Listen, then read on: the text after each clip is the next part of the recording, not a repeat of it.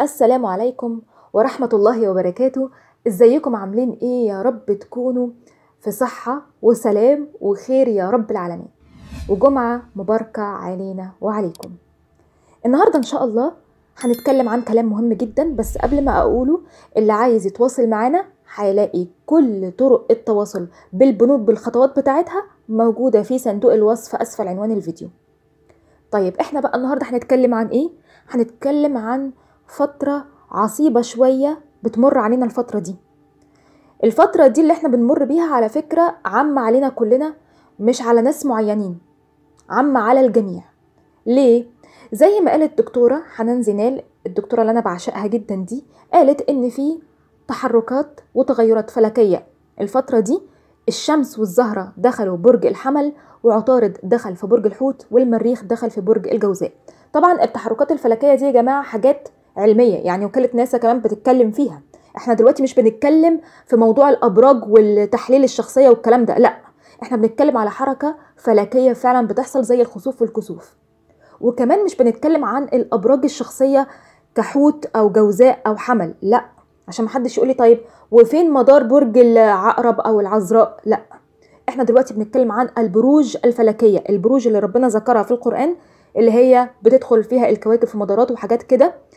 بمعنى إن من الآخر التغيرات اللي بتحصل بسببها هتكون عامة على الجميع مش خاصة بفرد معين ومش خاصة بشخص مثلا في برج الحمل ولا بالحوت ولا بالجوزاء خالص.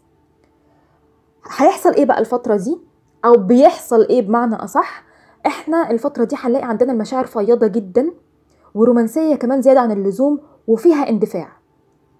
رومانسية بمعنى إيه؟ يعني بالنسبة للمرتبطين لو انت مثلا حبيبك ما بيتكلمش كتير أو من الناس اللي هي مش بتعرف تغازل كتير هتلاقي نفسك بتصممي إن أنت يلا قولي كلمتين حلوين دلوقتي.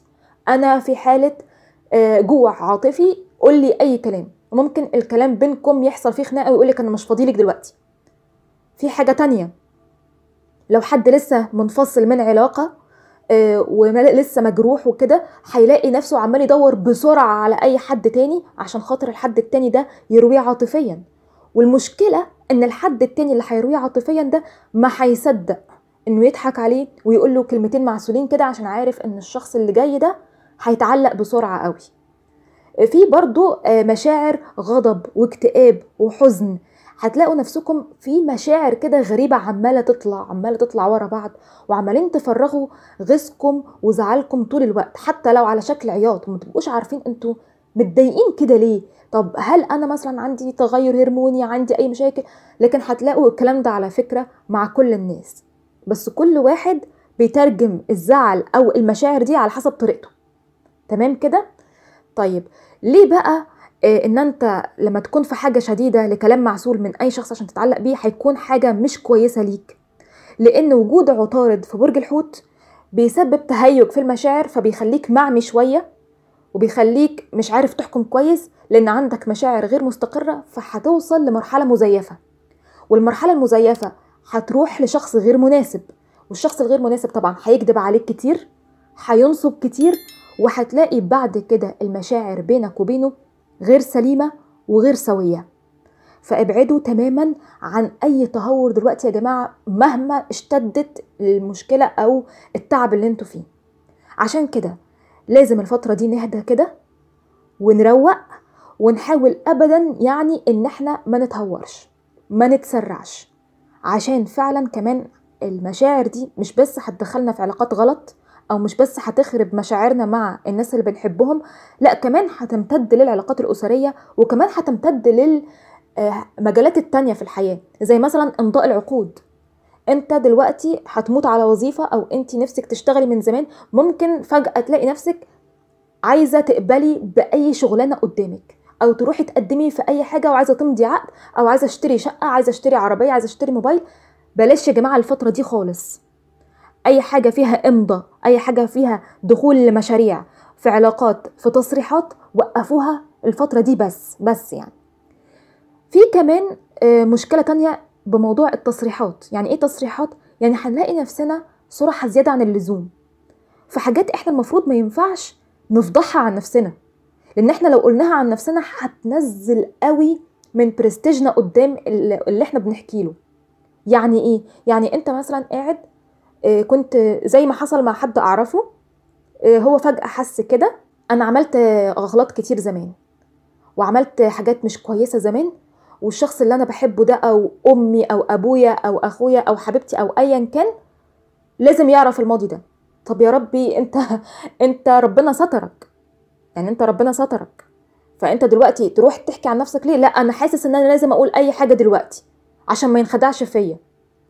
فيروح يحكي كل حاجة حصلت في تاريخ حياته القديم برغم إن هو اتغير وبقى أحسن وبقى أفضل من الأول ويروح يفضح نفسه. ناس تانية مثلا آه، كانت بتتكلم على حد وحش وحسوا فجأة بتأنيب ضمير برغم إن خلاص يعني الموقف عدى وصلحوا آه، علاقتهم مع الشخص ده آه، وبقوا بيجيبوا له هدايا أو يعني ايا كان حسنوا العلاقة بأي شكل من الأشكال. وفجأة راحوا يا جماعة إحنا من أربع سنين ولا من ثلاث سنين كنا بنقول عليكم كذا وكذا وكذا. فخلي بالكم التصريحات دي ملهاش أي علاقة باللي إحنا فيه. التصريحات دي دي حاجة مندفعة جوانا. ففكروا كتير قوي قبل أي كلمة أنتوا هتقولوها. في حاجة كمان بالنسبة للمرتبطين مثلا واحد شايل من حبيبته أو حبيبته شايلة منه في حاجة فجأة على فكرة آه، فاكر الموقف الفلاني اللي أنت عملته من عشر سنين؟ لسه لغاية دلوقتي مضايقني وأنا شاكة إن أنت ممكن تكون بتكرره تاني وهكذا من افتعال المشاكل. فخلي بالكم برضو مفيش داعي إن أنتوا تصرحوا بمشاعر حقيقية سلبية. يعني هي مشاعر حقيقية فعلا لكن هتودي في داهية. فبلاش تتكلموا في أمور لا يجب الكلام فيها لأن هيكون فيها تجريح كبير جدا للطرف التاني. لازم زي ما قلت تفكروا كويس قبل ما تتكلموا لأن الكلام هيكون مش مرغوب فيه واحتمال يبقى فيه شوية كده ألفاظ مش تمام. لازم كمان تستخير كويس قبل ما تعمل امضة لأي عقد أو قبل ما تشتري أي شقة أو عربية أو أي حاجة. أو قبل الدخول لعلاقة جديدة لو أنت منفصل أو لو أنت سنجل أو قبل ما تدخل أي مشروع لأن الاختيارات هتكون غير موفقة الفترة دي بسبب الاندفاع. ولو أنت بقى يعني مصمم قوي تواجه حد معين بحاجة أنت شايلها جواك وخلاص هتموت وتقولها يا إما تتخاطر معاه عشان ما يحصلش صدام مباشر بينك وبينه يا إما تكتب اللي جواك في ورقة فرغ مشاعرك كلها بالكتابة. أحسن ما تفرغها فيه هو شخصيا. لما هتفرغها بالكتابة هتهدى. كمان آه، عشان نطلع بقى من الفترة دي على خير إن شاء الله آه، يفضل إن إحنا نتقرب من ربنا سبحانه وتعالى آه، بالذكر وبالأوراد وبالصلاة. الأوراد بقى اللي أنتوا تحبوها دي مفتوحة ليكم قدر الاستطاعة. كمان يفضل الفترة دي إن إحنا نكتر جدا من شرب المية لأن شرب المية بيعمل على تنقية إلهالة وتنظيفها وكمان يفضل قوي عشان تبقى الحكاية مية مية تقروا عليها الفاتحة سبع مرات واسم الله الودود سبعين مرة. ممكن تقولوا يا ودود أو الودود. وكمان تقولوا سبحان الله السلام سبعين مرة. كل ده يتقرأ على المية اللي أنتوا هتشربوها. ممكن بقى آه، تقروها على إزازة. وبعد ما تشربوا الإزازة سيبوا حبة شوية في الآخر حبة يكون لسه مقري عليهم. وبعد كده عبوا تاني الإزازة.